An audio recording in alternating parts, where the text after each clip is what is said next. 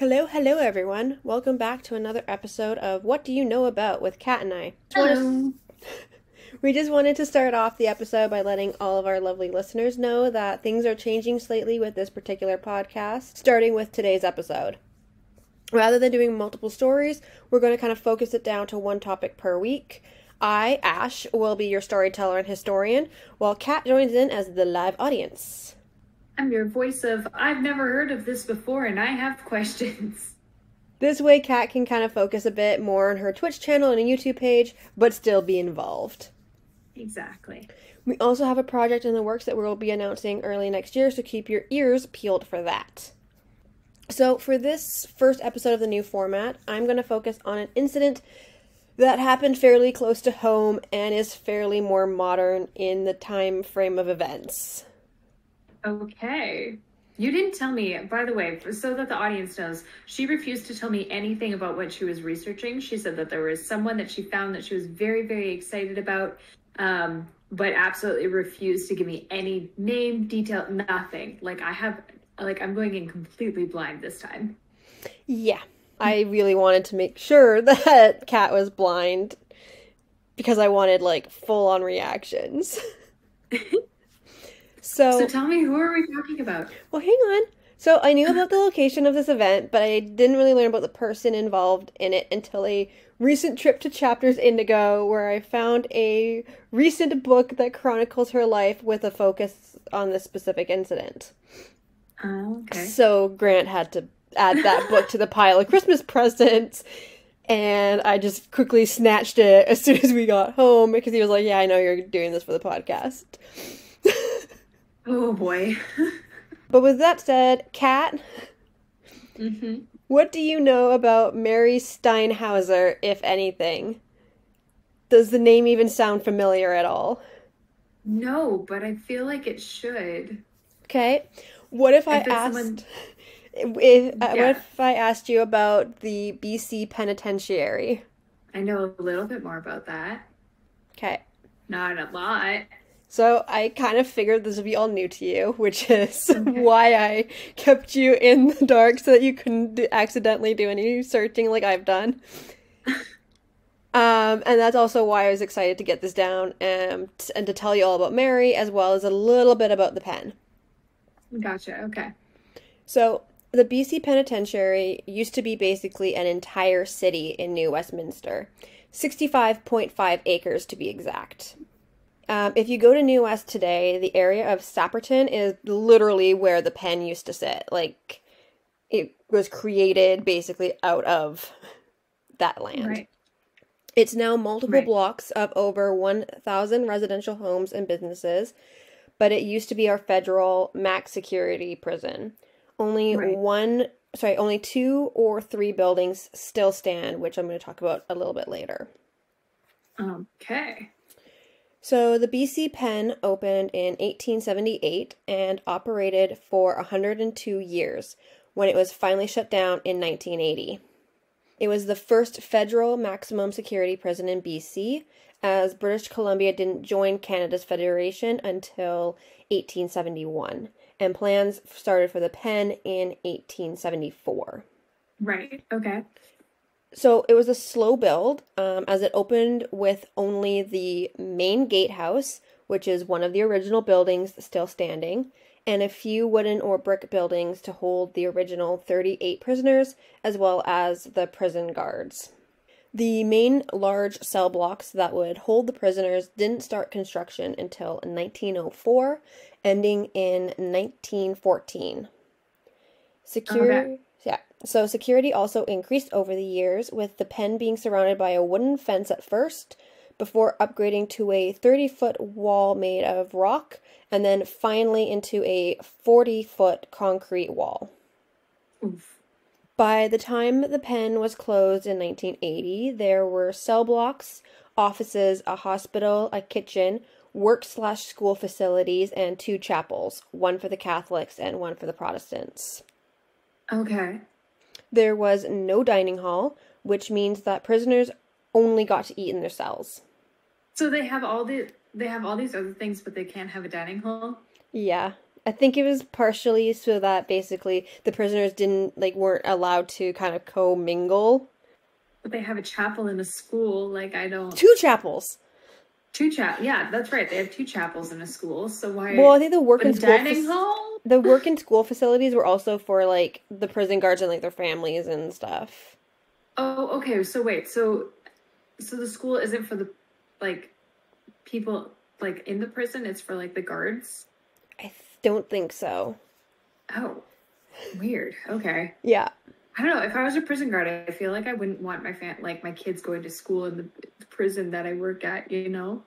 Well, I mean, like it was basic. It was like its own little city, right? So you Oh, basically fair. lived and worked at BC Pen.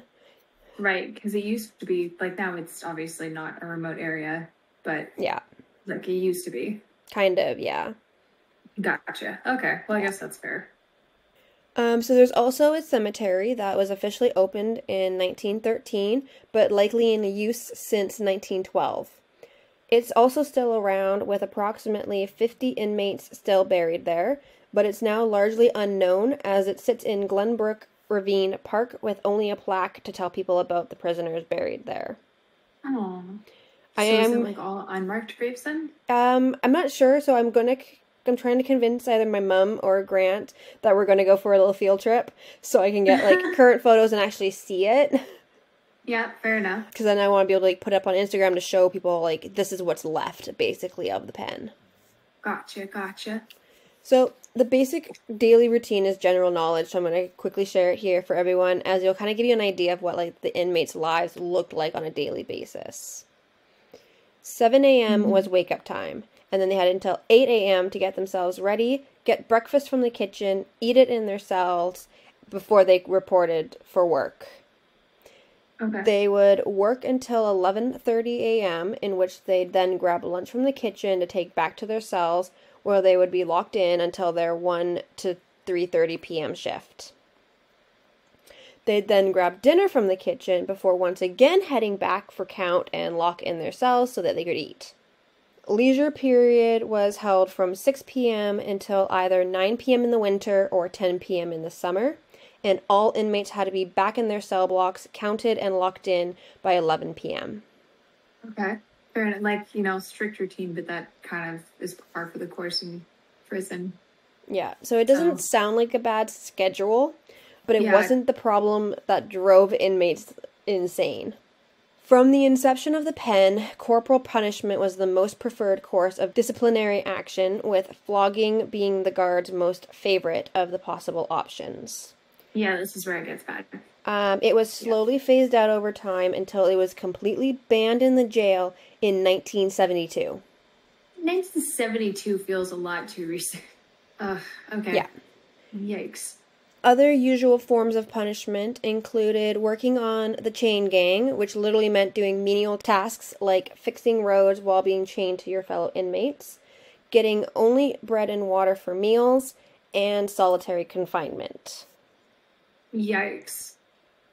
Yeah, that's really awful. Yeah. Imagine doing that kind of heavy later, like labor, and only being able to eat bread and water. That's not enough nutrients to keep you going No. for like a regular routine, let alone that. No. So, solitary confinement was probably the worst of the punishments for the inmates.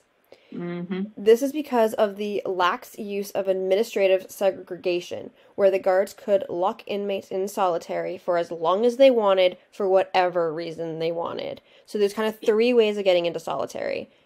You could go in uh, voluntarily, which would be mainly that you wanted protection f- from something, right? That was happening Right. From someone else in the prison, Yeah.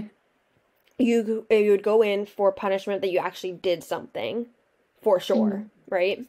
Or administrative segregation where the guards are just like, you know what, we don't like you right now. You're gonna come into solitary confinement. We want to make an example out of you today. Exactly. So Ugh. one inmate had spent a total time of 1,421 days there over a four year period of incarceration. 754 of those were consecutive. 754. Yeah. Days. Humans are not meant to be alone for that long. That is so damaging. That's oh Um, That's so awful. yeah, so BC Pen is actually known to being particularly brutal for modern prisons. In 1963, the penthouse was built as a replacement for the hole in the basement of the Special Correction Unit. These cells were built to be extremely tight, with three concrete walls, no windows, and a solid steel door with a square window making up five inches. That is less than a ruler length. Ugh, that like man, I lose my mind after day two. Like I there's ugh, So, so awful. Inside the cell, they had a combination wash bin and toilet that had cold water only, a radio selector with two channels, and a sheet of plywood four inches above the floor covered with a concrete pad as a bed. The volume of the radio and the temperature of the cell were controlled by the guards only, and the lights remained on 24 7, with them being dimmed to 25 watts at night. Like I don't know what they were expecting that to do other than just drive people insane. Like I don't know how that was ever supposed to be. I think it was basically like, hey, if you don't want to come back in here, you're gonna be like the perfect little angel. like, But it, it- but it doesn't make sense. But it's such bullshit because then like once like I mm, I have so many problems with solitary confinement. Like I could just rant about this for forever, but like it's it's so bad. Like it's ah Well, and it still gets worse. So, those who were in solitary for punishment would be in their cells for 23.5 hours a day, only being allowed out for a half hour walk up and down the corridor with no view of the outside world at all. If they were lucky, they the would get a rubber pad and a blanket for the night. If they were lucky they'd Yeah. get a rubber pad. The, if yeah, if they were lucky, they would get their like a rubber pad to put on like the concrete pad bed and a blanket Right. for the night. Like basically like just randomly get thrown it and then in the morning it gets taken away. That's so dumb. Like I like I don't understand. Okay, like I mm. This goes very very quickly into the purpose of prison and whether it's the purpose of prison is meant to be like um like a punishment or if it's meant to be rehabilitation. Because if your goal is rehabilitation, this is how you do the opposite of that. This is Yeah. literally just like driving people to hate authority. It's literally just like it's literally driving people insane, driving people to self harm, driving people to suicide, driving people to like like it, how how are you how are you expecting people to follow the rules if you've already driven them crazy? Like that's how like how does it make sense? Why did we ever think that was a good idea? I don't understand. It doesn't make sense. I don't understand. So, if you were in solitary for protective purposes, then you would be Mm. allowed your pad and blanket for the whole like for like the whole day and night. And you would sometimes be allowed to exercise outside for your half hour. So if you okay, so hang on. So if I'm break if I'm in prison, right, and I'm breaking this down, how afraid would I have to be before I'd opt into that? Because that's still awful. If those are the only changes, that is still really, really bad. Yeah. Like, Yeah. that's not. That's yo. If someone if someone was threatening my life and the only other alternative was solitary confinement, I'd just let them unalive me. Like I don't like. that's so bad. Well, speaking of unaliving people, only mm. one execution ever happened at the BC pen, as the death penalty Oh. usually was enforced by provincial prisons, not federal ones, when it was still legal. Right. Okay. So, like all of our other prisons, until it was illegal for the death penalty here in Canada, the provincial ones would do all the executions. The, Right. I would have expected it to be more, but that makes sense. Yeah. So the exception was a 24 year old man named Joseph Smith, who was hung in 1913 after he and another inmate killed a guard during an escape attempt. They literally built the gallows right where they killed the guard. Savage. Um, his accomplice died from injuries sustained during the attempt before he could be tried for the murder of the guard. Right. So in 1934, the first riot took place in the jail, 56 years after it opened. I'm kind of surprised that it took that long, but Yeah, right? They had a pretty lucky streak there. Yeah. So it changed some laws surrounding how inmates were treated when it came to the hard work they were forced to do. Because that was like their complaint, where they're like, you're forcing us to do all this hard work and we're getting Yeah. nothing back from it. So Yeah. that's when the government started to pay them five cents a day for their work in hopes of keeping the peace. Still state mandated slave labor, labor, but you know, go off, I guess. That's the first step. As a first step, it's not bad. Yeah, and it kind of worked until the 1950s started to see a major cr- overcrowding issue take place and the jail started started to become extremely violent. BC Pen actually became one of the most violent jails in Canada as a whole by the 1970s, with it all starting off in 1963 when inmates started a riot and took hostages. In 1973, there was a three day riot that damaged a pile of cells. Then the clocks turned to 1975 when all hell broke loose in the pen for the next two years. Three hostage situations happened in 1975, while six took place in 1976. Holy, that went from like no riots to like so many all at once. Like, Yeah.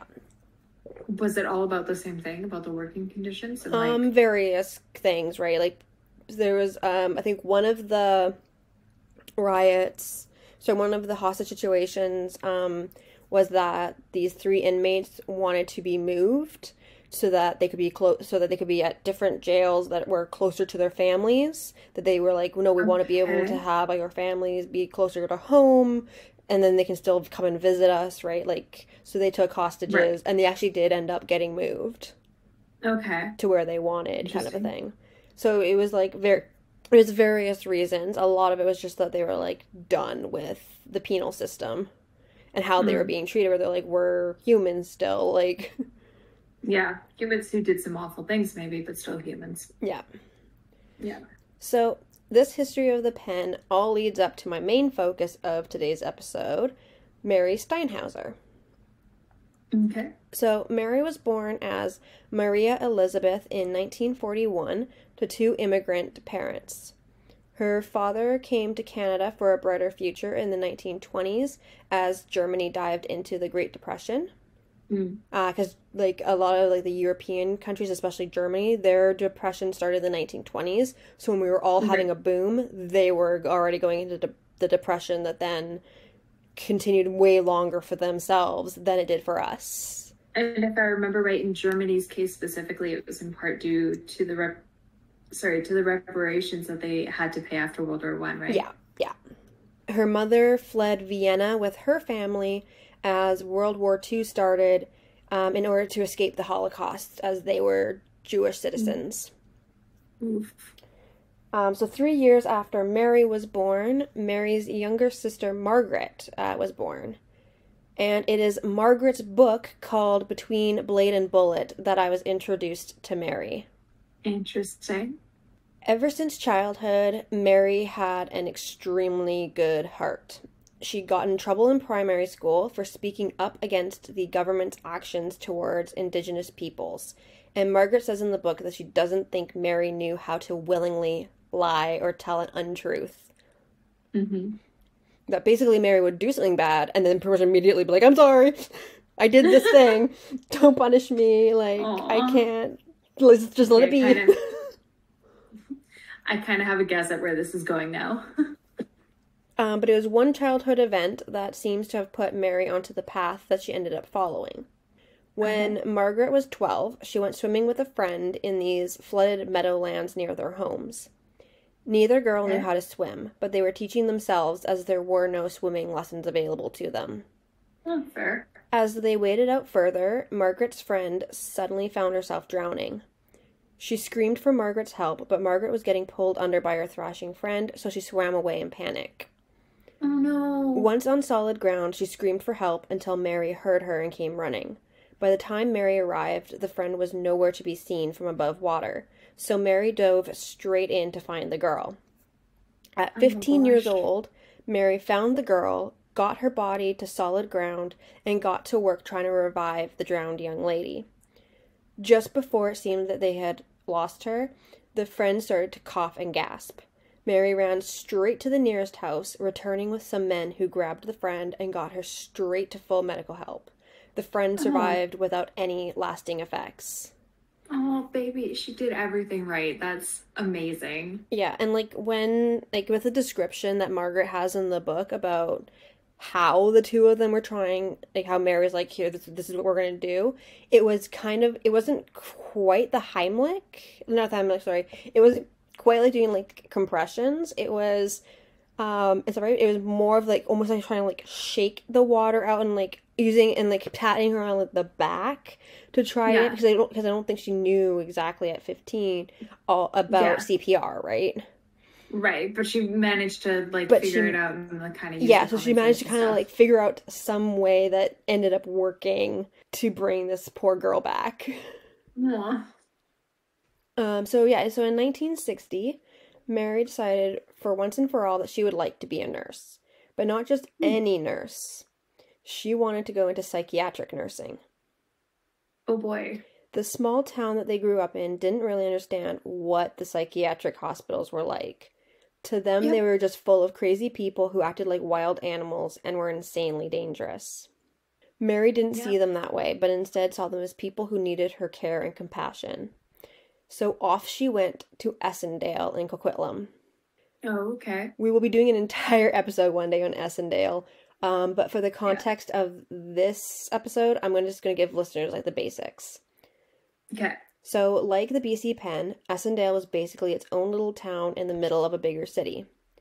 It comprised of about five or six treatment buildings, a fire hall, a bowling alley, a farm, a library, a beauty parlor, a bakery, tennis courts, police station, post office, and a cemetery, just to name a few.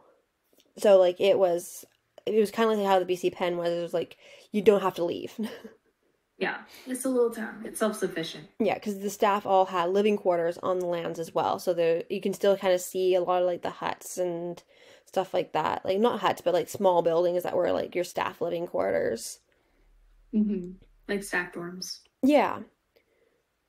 So it's now called Riverview, and there are new treatment sites on the grounds, while the old buildings that are still structurally sound enough are used for filming and paranormal investigations. Mm-hmm. Sounds about right. yeah, so like most of our listeners, like if you've seen like Supernatural and stuff like that, um, Riverdale, I think, has been filmed there. Chilling Adventures of Sabrina have all like been filmed at the uh, like a couple of these buildings. I think it's usually the Crease building and the women's ward that were that are used for filming. So, when Mary went to Essondale, it was the number one training site for those who wanted to be psychiatric nurses.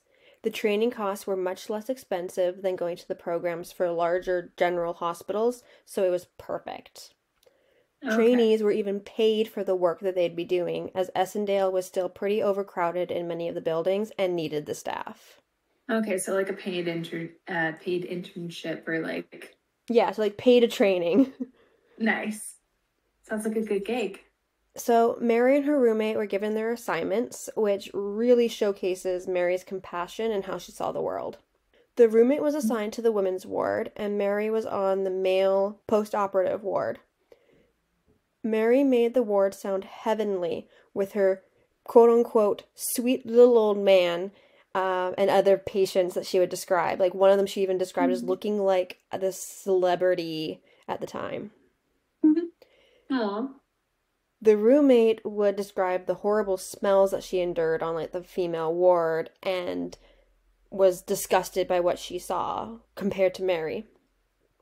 Later on, they were assigned new postings and the roommate ended up going to the same ward that Mary was on. Mhm. The roommate was apparently extremely excited to meet this quote unquote sweet old man that Mary would talk about, but when she met him, she wondered what Mary saw that she couldn't see. Because she looked at him and went, Oh, you're just an old, wrinkly old man. I don't like Mary made you seem like this really sweet, cute little thing, right? And so she just saw like an old, like a dying old man, basically. Wow. Okay. So it's just you see the kind of the difference between like a strong sense of empathy and a complete lack of empathy.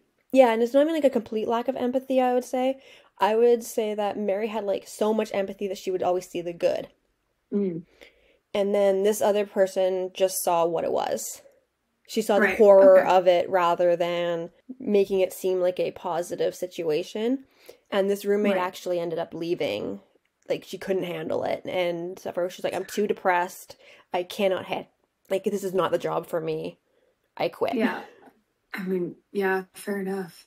So Mary was so kind-hearted that she would apparently cry for the patients who had such deformities that they couldn't leave the bed or control their bodily functions. So like at night she would be basically Mm. be tearing up thinking about all these people. Aww. But she did also get used to some of the patients who were at first frightening, um, and the Mhm. language used by many of the patients. Because coming from a small Mhm. town and being and, and being raised religious, you're not going to hear all these Sweet. swear Oh, yeah. words and slurs and everything, right? So at first it was like, what? But then she got used to it. You can get used to that stuff pretty quickly though, in in the right environment where you're kind of steeped in it all the time.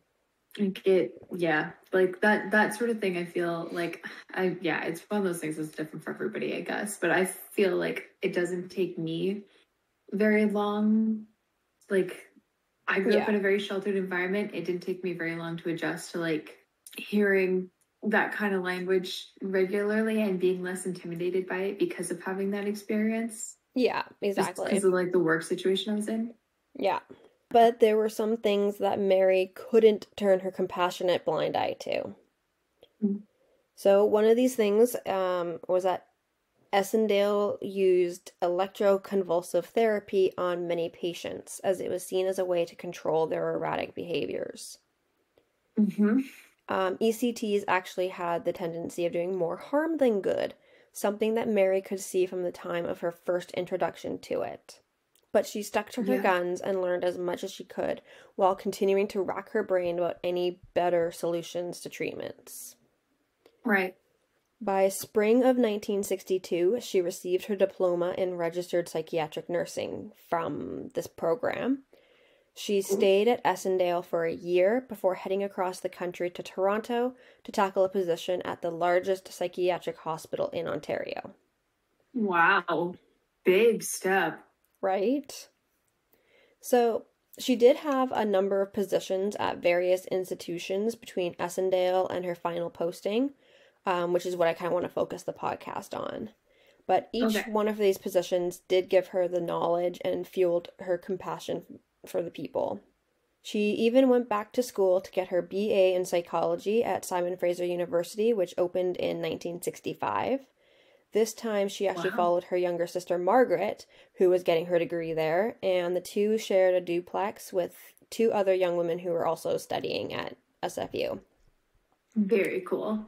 So, after her degree at SFU, uh, Mary then went on to start her master's at UBC and ended up completing a master's in social work. Okay. Cool. So she's at this point, she's got like her BA in psychology. She's got a master's in social work. She's got And like she's got her um, diploma in psychiatric nursing. Yeah. Yeah. That's like a lot. Right? Like For she a woman in what is no you 1970s. she started in- like so in the 1960s, 70s yeah. So all of that happened in the 1960s basically. Oh my goodness. That's a lot. Go get it, girl. So by October of 1973, she was offered a position as a classification officer at the BC Pen. What is a classification officer? So basically, they do um like individual counseling sessions. They work on like the pre-parole, pre pre-release planning, working on so they, they get to know the like the inmates so then they can then take these reports to other community organizations and the people like the law and the people who run the pen to be able to hopefully get these inmates when they were or when they are going to be released that then they can be released well into society Theoretically. Okay, Yeah. gotcha. So she had 60 inmates on her caseload. 60. 60, six zero. Yeah. That's a lot of people to manage. Well, and then the one thing that I took from the book that Margaret wrote is that Mary had an amazing connection with each of her inmates. So, like, there's 60 of them, but you still managed to know them all personally. Yeah. Well done. So, multiple inmates had actually written letters to and about Mary full of gratitude towards her. Aww. One even wrote that she was their angel for saving them from the hell that was solitary confinement. Aww. This same inmate ended up turning their life around thanks to her compassion towards them. See, This is what I mean. This is what I mean about rehabilitation.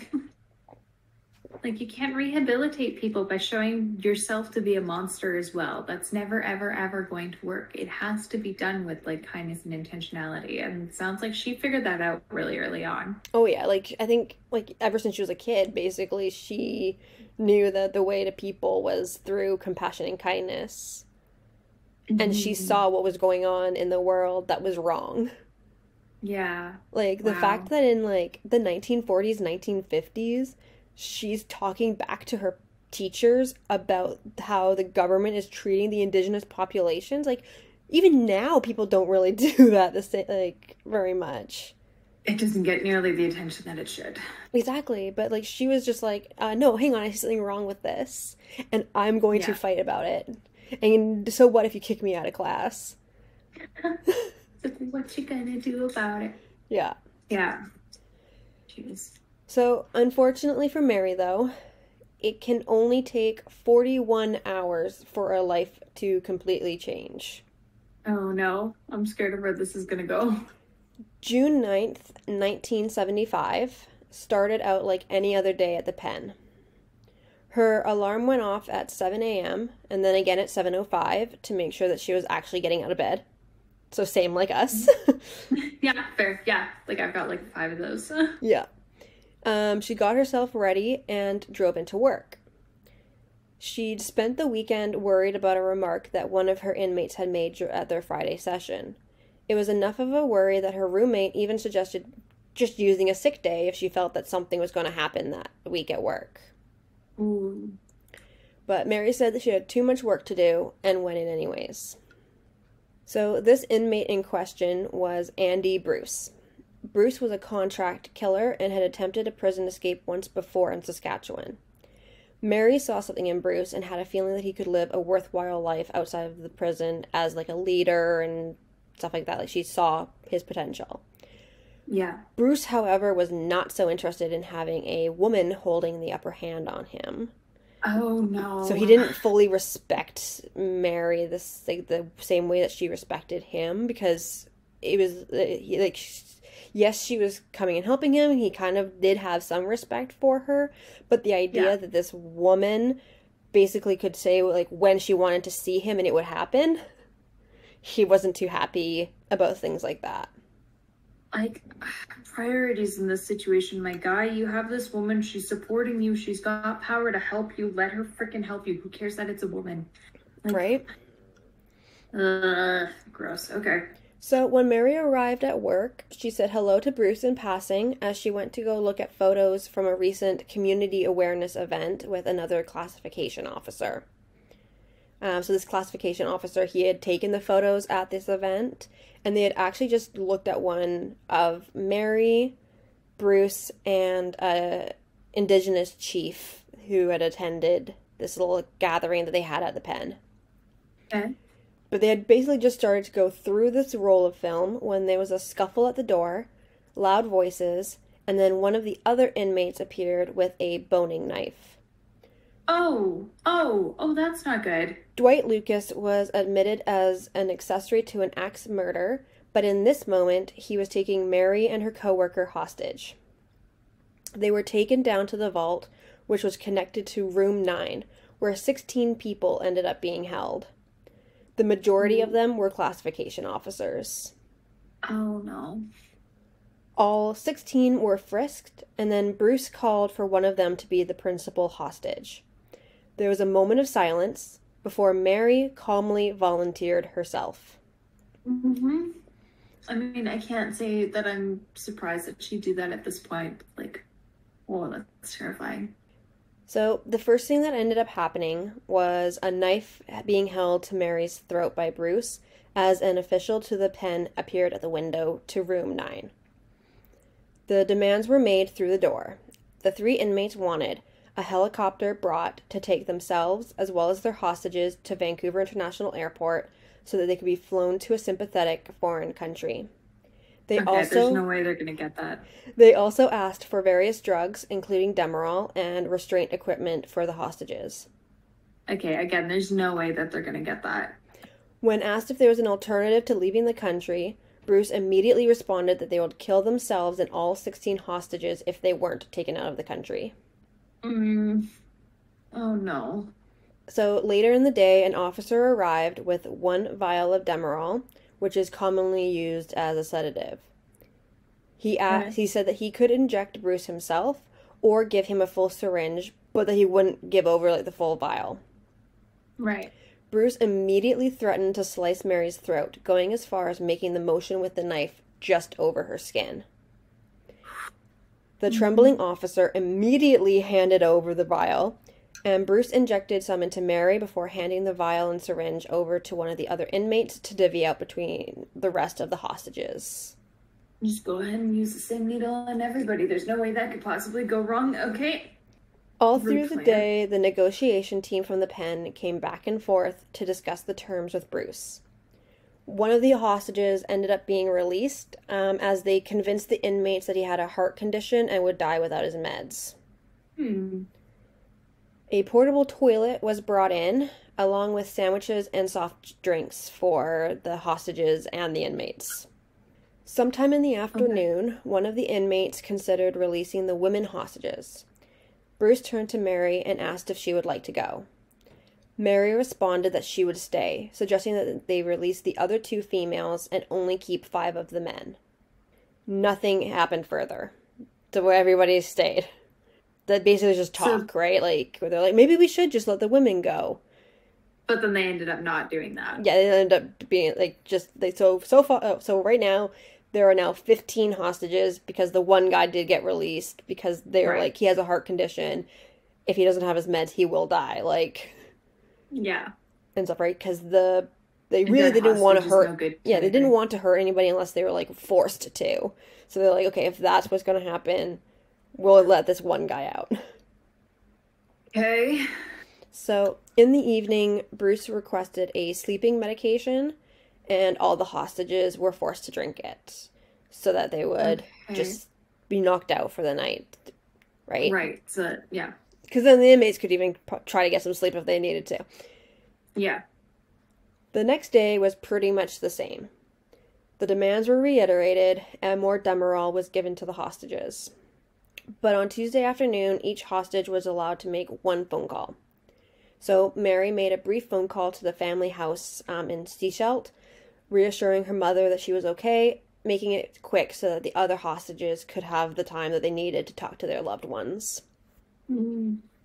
In the night, Mary was awoken by voices and saw Bruce having trouble injecting himself with the Demerol.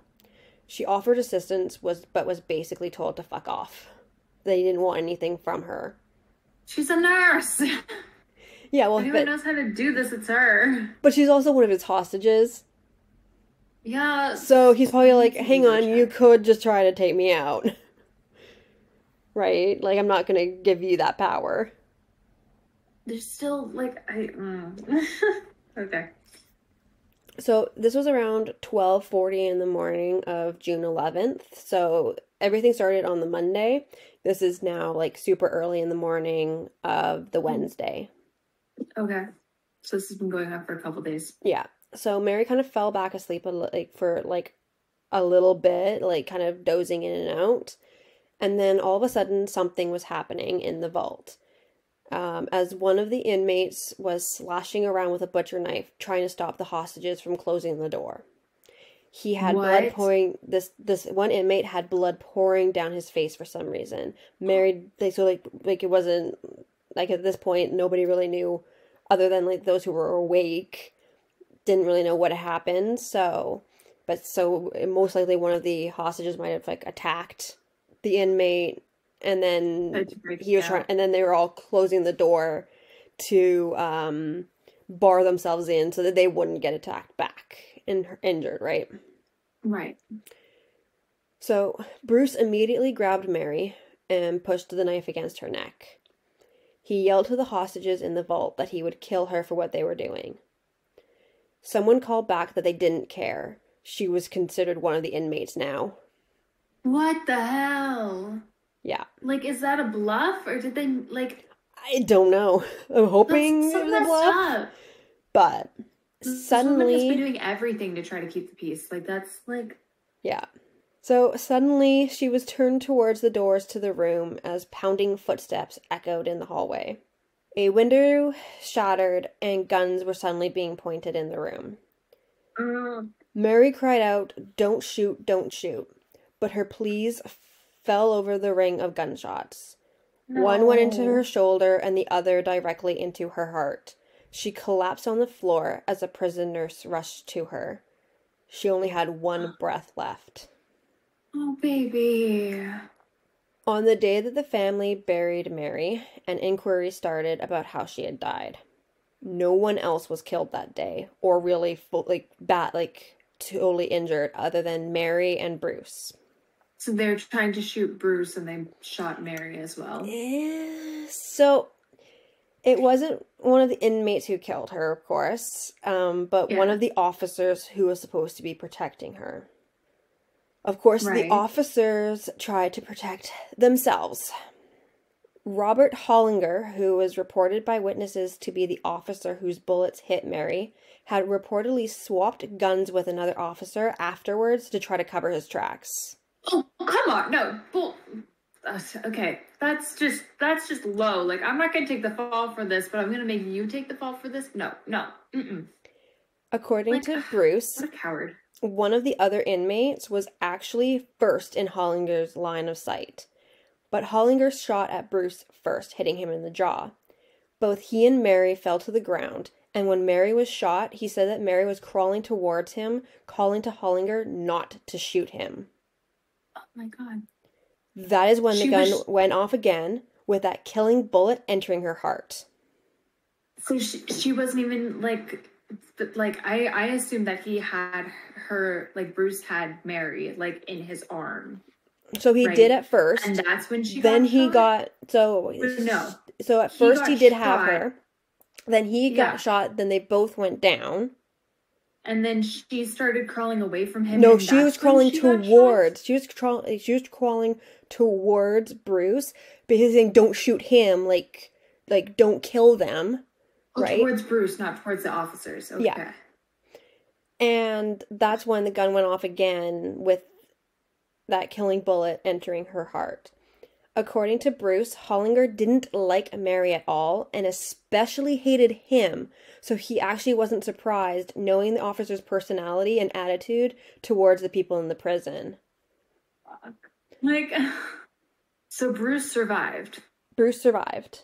Bruce, the one who took 15 hostages and threatened to kill all of them. He's he's the one that survives, but Mary, the one who's just trying to keep the peace and just trying to get everybody out of the situation alive. She's the one that gets shot through the heart.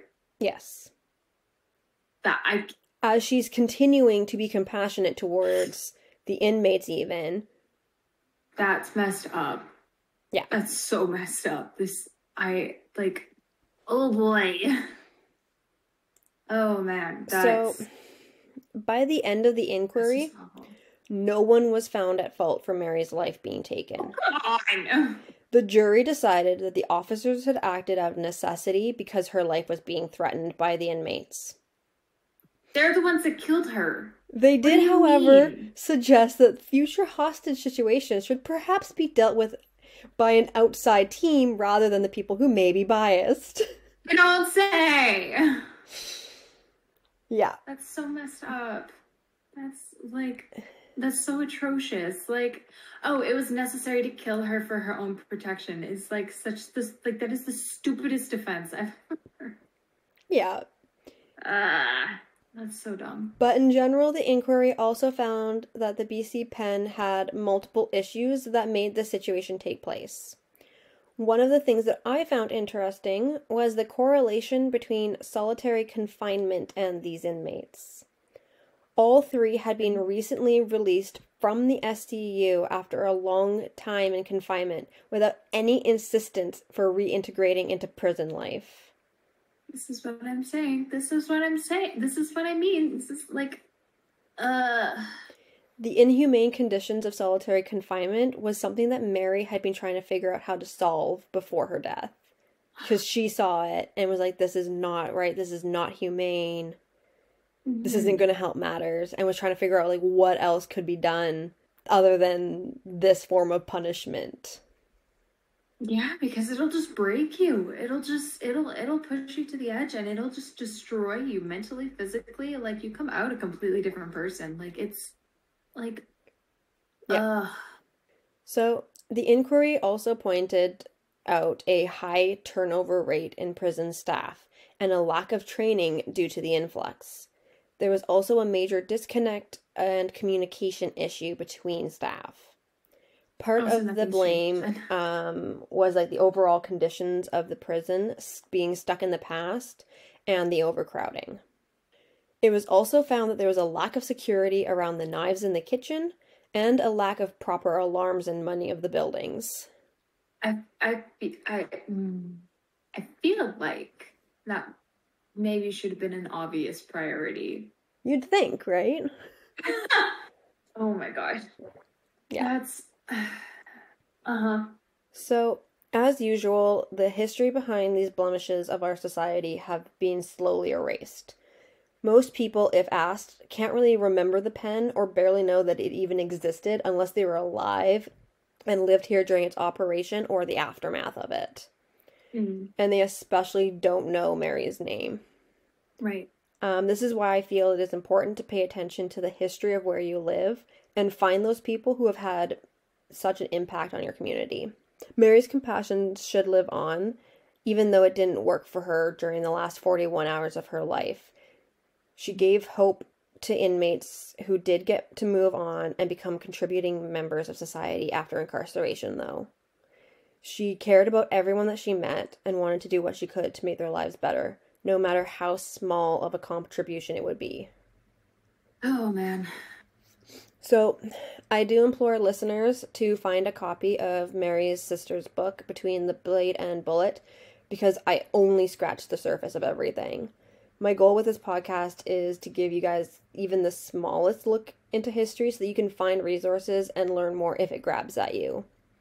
But with Mary's story, I seriously think that reading this book will give everyone an outlook on the lives of prisoners and those who actually care about them as the humans that they are. Margaret goes deep into who Mary was and takes the reader on an amazing journey through the inquiries that took place after this incident that helped change the penal system in Canada. It's heartbreaking, but it's also extremely touching to walk in Mary's shoes through Margaret's words. Wow, what a story.